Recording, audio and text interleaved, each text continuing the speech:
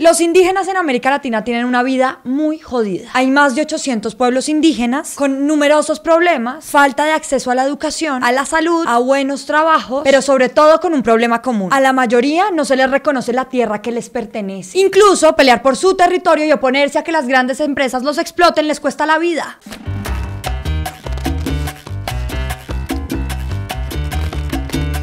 Aunque han ganado algunas batallas, que a veces se quedan en el papel membretado. Estos pueblos son desplazados, explotados, invisibilizados y discriminados. Por eso hoy en La Puya en América vamos a hacer el juicio del año. Que comience, que pasen los indígenas. Para nosotros los pueblos indígenas la tierra es fundamental. Nosotros no vamos a cambiar nuestro territorio como usted cambiaría de casa o de apartamento, porque nuestro territorio representa nuestros orígenes, nuestras tradiciones, porque nuestros saberes los transmitimos de generación en generación y hace parte de la forma como entendemos y vemos el mundo. Hay que recuperar la tierra para recuperarlo todo. Entonces en América Latina el panorama es variopinto, porque en algunos países están cumpliendo las reglas y se respetan los derechos sobre la tierra. En Bolivia, con la llegada de Evo Morales, en solo cinco años se titularon 13 millones de hectáreas a nombre de los pueblos indígenas, después de años y años de demandar y de luchar por esto. Otro caso es Colombia. Aquí el 85% de los indígenas vive en resguardos y la constitución del 91 reconoció que los indígenas podían mandar sobre ellos. Pero en otros lugares de la región los gobiernos están endeudadísimos. En Honduras solo el 10% de los indígenas tienen el título sobre sus tierras. En Brasil menos de la mitad de las tierras en donde viven están a su nombre. Y eso los convierte en un blanco seguro del desalojo. Ni qué hablar de Perú y México, que aparte que son los países con mayor población indígena de América Latina, los gobiernos se han hecho los de la vista gorda para respetarles la tierra. A pesar de que para algunos gobiernos las escrituras de la tierra se convierten en papel de reciclaje, resulta que por el hecho de protestar frente a eso, a los indígenas los están matando. En América Latina están tres de los países más violentos del mundo para defender la tierra. Aquí tener un pedacito de tierra se convirtió en una cuestión de vida o muerte. El siguiente invitado al estrado es el que más vulnera los derechos de los indígenas. ¡Que pasen las empresas! Algunas empresas pasan por encima de los pueblos indígenas. Por un lado, cuando quieren explotar nuestras tierras, se les olvida preguntarnos si estamos de acuerdo o no. Y por otro, cuando la explotan, no nos responden por los daños ni compensan los impactos. Primero, en numerosos países de América Latina es obligatorio que se les pregunte si aceptan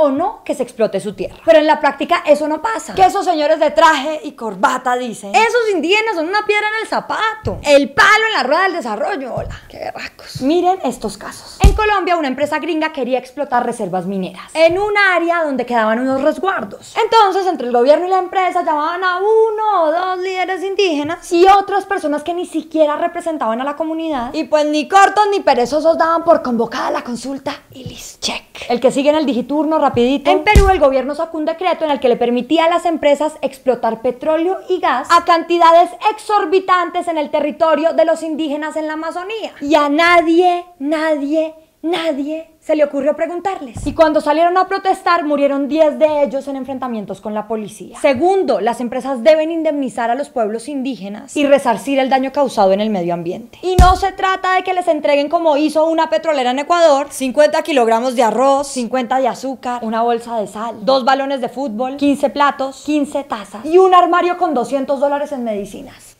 Aparte, estaba orgullosísima de la ayuda humanitaria que les dieron con esas cositas. Y otro ejemplo más. En Bolivia, una empresa empezó a explotar minerales sin preguntarles al pueblo guaraní. Y lo que sí hizo fue profanar lugares sagrados, dañar el medio ambiente y evadir sus responsabilidades económicas. Solo hasta el 2007, por fin, después de años y años de protestas, la empresa quedó obligada a pagar por los daños. Pero esperen un segundo. No se coman ese cuento entonces de que ahora los empresarios y los indígenas son enemigos irreconciliables. No es que no se puedan hacer este tipo de proyectos, es que hay que hacerlos como toca. Simple. Y el último invitado, el que se supone que debería interceder y hacer respetar a los indígenas, pero no lo hace, que pasen los gobiernos. La mayoría de los políticos dicen en campaña que van a reconocer nuestras costumbres, nuestro idioma y nuestras tradiciones, que se comprometen a ir a nuestros territorios y a buscar siempre la concertación. Pero una cosa muy distinta es lo que sucede cuando ya ocupan sus cargos. Más bien se rajan en la tarea. En Chile, desde su primer gobierno, a Sebastián Piñera, le entró la mañita de acusar a los indígenas mapuches de terroristas por protestar por sus tierras. Ahora que volvió a ser presidente, invoca una ley que sometía a los indígenas a unos juicios terribles, sin una defensa adecuada, con testigos anónimos y encerrados sin razón en centros de detención. Me huele como a Pinochet. En Ecuador, el presidente Lenín Moreno, quien se jacta de haber nacido en un pueblo del Amazonas, dejó esperando por cinco días a 100 mujeres indígenas de la Amazonía que querían reunirse con él para pedirle que dejara de explotar su territorio. Y el panorama de los otros países no es más alentado, porque los gobiernos dejan solos a los grupos indígenas frente a los gigantes empresariales. Y a que no se imaginan por cuáles intereses velan los gobiernos. Sí, lo que están pensando. Vamos ahora a nuestro veredicto final. Las empresas y los gobiernos han sido los culpables de que los indígenas no tengan una cosa básica. Dónde vivir, dónde alimentar a su comunidad, dónde formar su cultura y dónde ser lo que quieren ser. Si no se sientan a hablar con nosotros, a seguir el proceso como es y siguen pensando que nosotros nos oponemos al desarrollo, va a ser muy difícil que esos proyectos que tienen en mente nos favorezcan a todos.